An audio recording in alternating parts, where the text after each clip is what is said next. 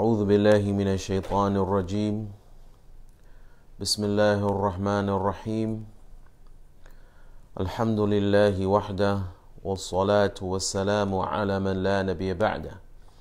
أما بعد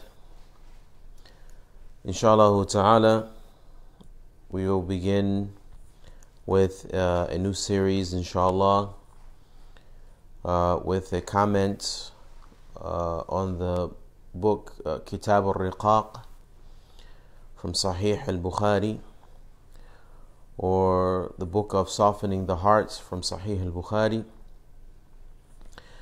Uh, so we ask Allah subhanahu wa ta'ala to allow us to take benefit. So Al-Imam al-Bukhari rahimahullah ta'ala he says in his Sahih in the uh, book number 81 which will be the first hadith under uh, this book is hadith number 6412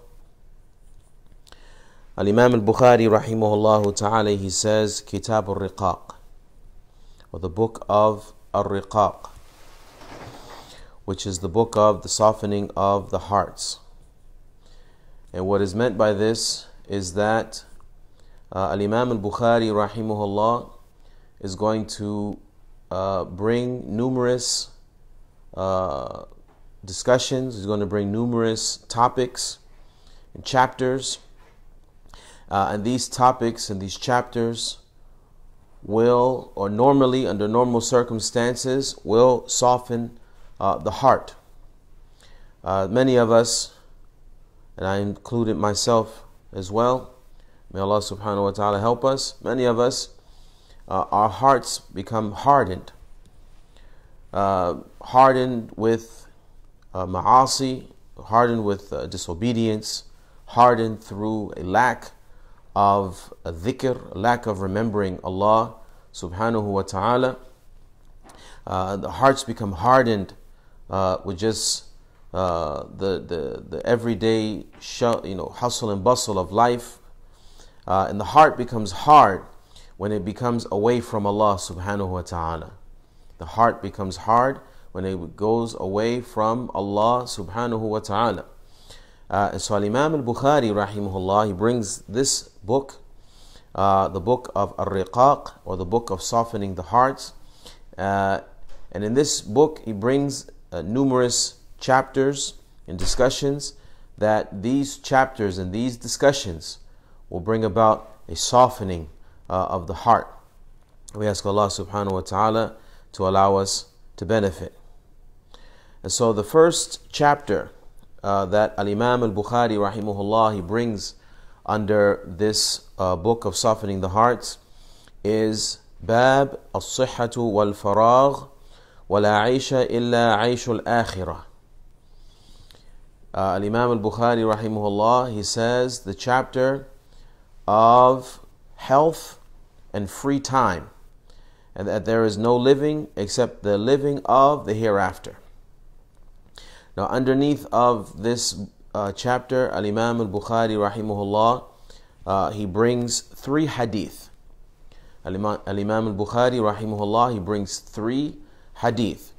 And so, hadith number one, uh, Al Bukhari, rahimahullah, he says, uh, We were informed by Al Makki ibn Ibrahim who said that we were informed by Abdullah ibn Sa'id, and he is Ibn Abi Hind, who reported this on the authority of his father, who reported this on the authority of Ibn Abbas radiallahu anhuma, who said that the Prophet sallallahu alaihi wasallam he said, نعمتان مغبون فيهما كثير من الناس الصحة والفراغ.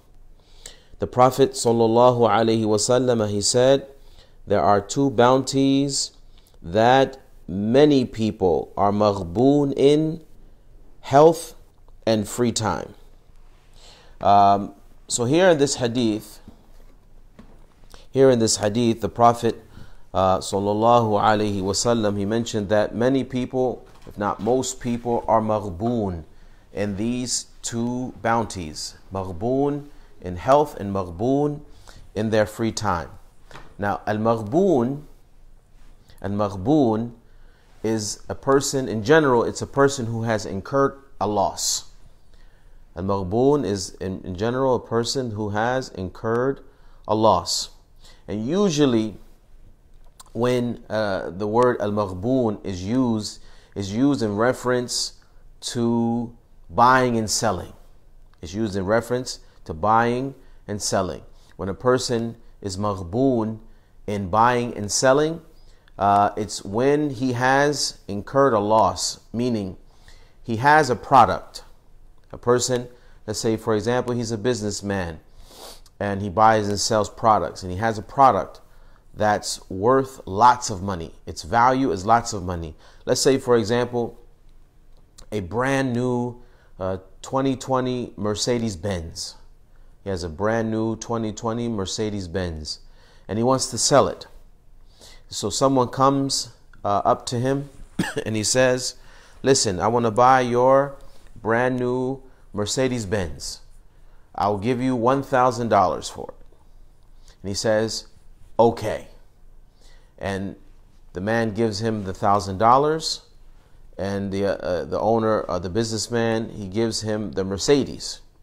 Now, anybody who's knows anything about cars is going to know that a brand new Mercedes Benz is worth way more than simply a thousand dollars.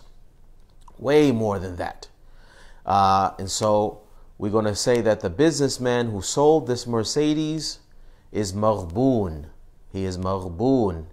Why? Because he took something that had lots of value, or its value was, was high, and he sold it and he took in return for it something that the value is, is not equal to what he has given. So this we call the person maghboon. This person is maghboon. Uh, and some of the, if you go to some of the Muslim countries and uh, you go to their court systems in some of the Muslim countries, the judge in the Muslim country will even uh, he will even invalidate certain contracts because of a person being maghboon.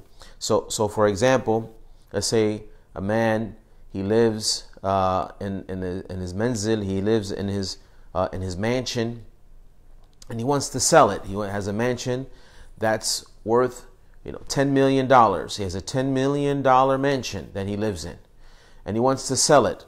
And so someone approaches him and says, I'll buy it. I'll buy the mansion. He said, How much you going to give me for it? He says, I'll give you $100,000. I'll give you $100,000. He said, Okay, sold. So they write the contract, and the man uh, the who owns the mansion, he, he turns over the keys, and the purchaser he gives him his $100,000 and they walk away. So now uh, the man who used to live in the mansion, his son will come. His son will come and say, uh, Baba, what happened to the mansion? He say, I sold it. He said, how much did you sell it for? So I sold it for $100,000. Look, we got $100,000. And the son, he says, complains and says, no, what are you doing? This, uh, the mansion was worth five or $10 million. So then the son will go to the court and complain. And because of the, the father being maghboon, the court will reject and invalidate the contract, meaning that they will take back their home and uh, the man will return the $100,000. Uh, because this we call this person maghboon. Maghboon. He has incurred a loss, meaning he has given away something and what he's taking back in return is nowhere equal to what he has given. So now, the Prophet said, Sallallahu Alaihi Wasallam, there are two bounties that most people, or a lot of people, are maghboon in them their health and their free time. Their health and their free time. A person uh, young. He's young. He has uh, health. He is strong. Uh, and he spends his youth, his strength, in front of a TV playing video games. He spends his youth and his free time watching soccer on television, basketball, football, watching uh, other people play sports, watching Netflix, show after show after show. Uh, he spends his health and his free time doing all these things uh, that he's not getting anything in return from. He's not getting anything uh, in return from.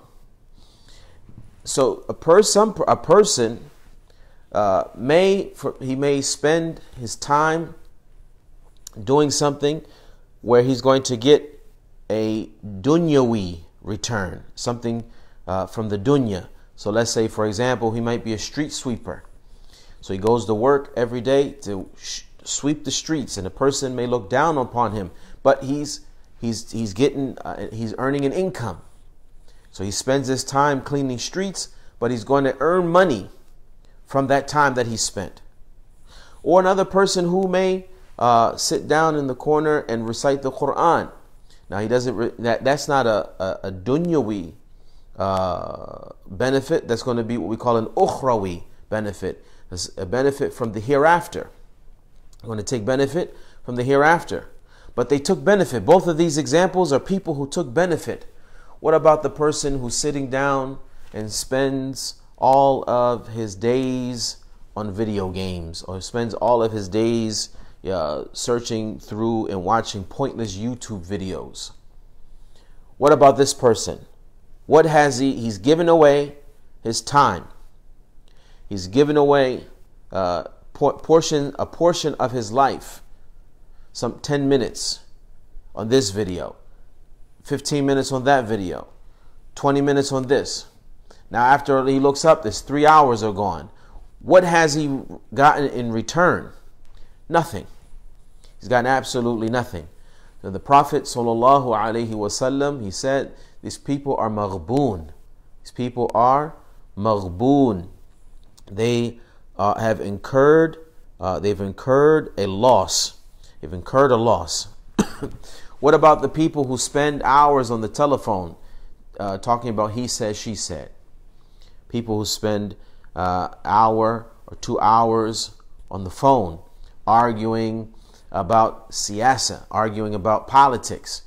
Uh, and at the end of that conversation, at the end of two hours, at the end of two hours of he said, she said, at the end of two hours of Democrat, Republican, so and so did this, Donald Trump didn't do that, at the end of all of that, what did they walk away with? What did they benefit? They spent two hours of their life is gone. Two hours of their life, uh, of their lives are gone. What did they benefit? So they gave away their time. They gave away a portion of their life. What did they get in return? Nothing. What about, now, even worse than this, even worse than this, what about the people who sit around wasting uh, their time uh, watching things on television and incurring sins because of what they're doing? So now, now not only a person who's watching a movie or watching a television show uh, that's that has in it uh, haram things to look at, haram things to listen to. Not only is his time, he, he not only is he giving away something that's precious, something that has value, but he's re, he's what he's getting in return are sins. So not only is he on not only is he zeroing out, but he's going into the negative. So he's he's it's almost as if it's almost like a person who sells. He says, "I'm going to sell you. I'm going to sell you this Mercedes Benz, this brand new Mercedes Benz, and I'm going to give you fifty thousand dollars with it." What and nothing in return. I'm, so you're going into the negative. You're giving away that which has value and you're receiving negative. And so the Prophet sallallahu alaihi wasallam, uh, he in this hadith he said, "Ni'matani, two bounties, maghbunun fihima kathirun min nas." That there are two bounties that a lot of people, a lot of people are maghboon in those two bounties. I mean, they're giving them away and they're receiving, they're incurring a loss in those bounties. As-sihhatu wal faragh. Health and free time. Health and their free time. So this hadith of the Messenger sallallahu alaihi wasallam encourages us not to waste our time. Not to waste our time. The second hadith that Al Imam al Bukhari rahimahullah mentions in this chapter, he says, We were told by Muhammad ibn Bashar, who said that we were told by Gundar, who said that we were told by Shu'bah, who reports on the authority of Muawiyah ibn Qurra, who reports on the authority of Anas ibn Malik, uh, radiallahu anhu, who reports upon the Prophet sallallahu alaihi wasallam that he said, "Allahumma la aisha illa aishul akhirah, fa aslih al ansara wal muhajira." The Prophet sallallahu alaihi wasallam he said, "O oh Allah, there is no living except the living of the hereafter, so rectify the ansar and the muhajirin." uh, the, the, the third hadith that Al-Bukhari mentions in this chapter, he said, I was informed by Ahmed ibn al-Miqdam, who said that we were informed by Al-Fudayl ibn Sulaiman, who said that we were informed by Abu Hazim, uh, and his name is uh, Salama ibn Dinar, uh, who said that we were informed by Sahl ibn Sa'd, as-Sa'idi radiyallahu ta'ala anhu, who said, كنا مع رسول الله صلى الله عليه وسلم بالخندق وهو يحفر ونحن ننقل التراب وبصر وبصر بنا فقال اللهم لا عيش إلا عيش الآخرة فاغفر للأنصار والمهاجرة So Sahel ibn Sa'd as-Sa'idi radiallahu anhu, he said, we were with the Messenger of Allah sallallahu alaihi wasallam in the in the trench while he was digging, meaning the Prophet, the Messenger sallallahu alaihi wasallam was digging. وَنَحْنُ نَنْقُلُ التُّرَابِ And we were carrying away the dirt. And so he saw us, meaning he saw us uh, working. And so the Prophet said, Sallallahu Alaihi Wasallam, O Allah, there is no living except the living of the hereafter. So forgive the Ansar and the Muhajirin. Now, for those who do not know, the Ansar and the Muhajirin, these were the, the companions of the Prophet Sallallahu Alaihi Wasallam. The Muhajirun, they were the companions of the Prophet Alaihi Salatu Wasallam who accepted Islam in Mecca. They were in Mecca with the Messenger والسلام, and they migrated from Mecca to Al Medina with the Messenger sallallahu alaihi wasallam. So they were called the Muhajirun. They were called the Muhajirun, the immigrants, because they immigrated from Mecca to Medina. They're called the Muhajirun. And the Sahaba or the companions of the Prophet wasallam who were in Medina. They lived in Medina. Uh, they were from Medina. Those we call them. They were called Al Ansar. They were the Ansar. So the Muhajirun and the Ansar. And so the Prophet wasallam uh, was in the trench as Sahel ibn Sa'd as-Sa'idi radiyallahu ta'ala anhu he mentioned. Uh, and he was digging and he was working the Prophet ﷺ was working, digging uh, the trench, which shows that leadership, a leader is out front. The leader, when he's requesting from his people to do something, he he's not only telling them what, that what should be done, but he's showing them what should be done and how it should be done. That's leadership, leading from the front. The Prophet ﷺ could have easily sat back and said, Hey, someone bring me some dates and some, some lemonade, and you guys dig this trench. The Sahaba would have went and they would have dug the trench. But the Prophet ﷺ was in the trench digging, and the Sahaba, anhum, they were carrying the dirt away. So Sahal ibn Sa'ad as-Sa'idi anhu said, the Prophet ﷺ saw them working. And he said, Allahumma, O Allah, la aisha illa aishul akhirah. O Allah, there is no living except the living of the hereafter. Faghfir lil ansari wal muhajira. So forgive the ansar and the muhajirin. And so, uh, the, the, when the Prophet said, when the Prophet sallallahu alaihi wasallam, when he saw the Sahaba working, and they're sweating and they're working hard, and they're you know they're carrying dirt, so they got dirt all over them. Their clothes are getting dirty, their bodies are getting dirty, dirt in their beard and then in their hair. Um, the, and others from the kuffar, others from the disbelievers, they're muna'amun. They are living their life up. They're eating good.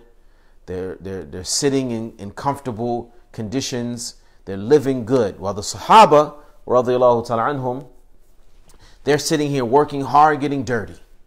Their, their, their fingers are dirty, their hands are dirty, their bodies are dirty, their clothes are dirty. So the Prophet sallallahu alaihi wasallam, as a means to help the companions be patient, as a means uh, for the Sahaba to be patient, he said, Allahumma, O Allah, there's no living except the living of the hereafter. Meaning that the life that these people, that the kuffar, the disbelievers, and their uh, the life, their good life that they're living, their, their good food, their good clothes, their comfortable living, all of that one day is going to be over because in the dunya is going to be over. In the dunya, all that's going to be done. And the real living begins when the person meets Allah subhanahu wa ta'ala in the hereafter. That's real life. That's the everlasting life. That's the life that has no end. And so, what these people are experiencing, meaning these uh, uh, the disbelievers, what they're experiencing from their food and their drink and their comfortable living, that's not real. Why is it not real? Because it's not going to last. It's not real because it's not going to last. And, and these individuals, the companions of the Prophet wasallam, who may have a little bit to eat, they may have only a little bit to drink, they may not have the very best of clothing or the very best of living conditions, but for them is the real life in the hereafter. Because this life is this not living. Why is it not living? Because it's not real. Why is it not real? Because it's not going to last. How long? How long is it going to be here? 50 years? 60 years? Speak to one of the elders who's 70 years old, 80 years old. Ask him, how long does it seem that you spent on the earth? They will tell you that it's, it's almost it's, it went like this. Yeah, and you hear people all the time saying it was just like yesterday. I was in high school. It was just like yesterday. I was in college. It was just like yesterday. I used to be able to run up and down the street. Just like yesterday, I used to be able to jump off a roof and I'd walk away with no problem. Just like yesterday. Because that time it's gonna it goes. It goes. That's why this life, the Prophet said, Sallallahu Alaihi Wasallam, La aisha illa aishul akhirah. There's no living except the living of the hereafter. Because that's real living. That's the eternal life. And so in this hadith, the Prophet Sallallahu Alaihi Wasallam encourages uh, us, we, we, we extract the encouragement to work for the hereafter. We extract the encouragement to work for the hereafter. And so when we look at the first hadith that Al Bukhari mentioned in this chapter, where he talks about the person, many people being maghboon in their free time, and we took the second and third hadith that mention there's no living except the living for the hereafter, then we find that Al Imam Al Bukhari rahimahullah is encouraging us to spend our youth, our health, and our free time working for the hereafter. And Imam al Bukhari, rahimahullah ta'ala, is encouraging us through this chapter to spend as much time as we possibly can working for the hereafter so that we are not maghboon in our time. So when we are when we when we meet Allah subhanahu wa ta'ala the hereafter, will be amongst those who will truly live in the everlasting life in Jannah. Ask Allah subhanahu wa ta'ala to make us from amongst them.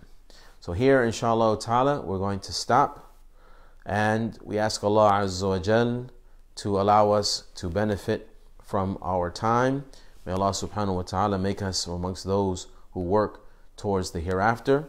Ask Allah to accept from us our good deeds and our righteous actions. May He overlook our faults and pardon us all of our sins. هذا والله تعالى أعلم وصلى الله وسلم وبارك على نبينا محمد